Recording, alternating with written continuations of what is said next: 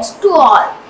I am from grade 3 STEM School Guntur, where we are encouraged to solve problems rather than remembering answers.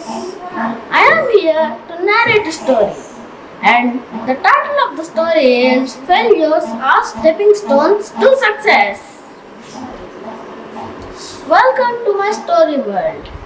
This was about a boy whose teacher said he was too stupid to learn anything, and about a person who was fired out of his first two jobs for being non productive, and finally, who became a great inventor and invented the light bulb that we are using.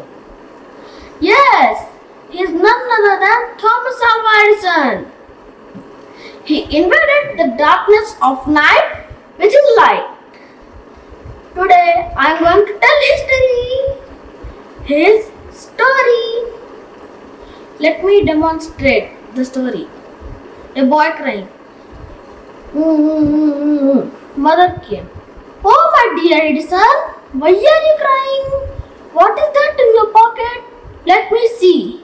A D T L E D. And L means too stupid to learn anything? Don't worry, my child. I'll teach you from now on. And she created curiosity in science. Few years later, Edison is in his lab. He is doing some experiments. Let us see how is it going. Ta! No problem. I'll do it again. Ta! No problem. I'll do it again. I am assistant to Edison. Let me share you something. Edison has failed thousand times, but still he is trying. I am vexed. I will ask him today. Edison sir, you have failed thousands of times, but still you are trying. What is the cause? Edison replied, Ha ha ha! I didn't fail thousand times. I have found thousand ways how not to invent the bulb.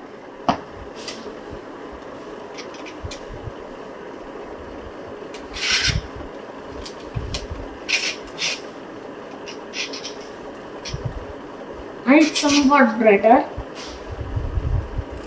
I need to improve somewhat. Improve. Yes, I did it!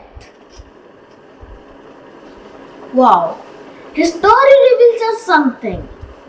Never stop at failures. Learn from failures.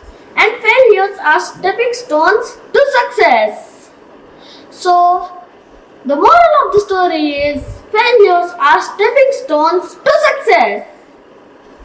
Thank you. Bye bye, Edison.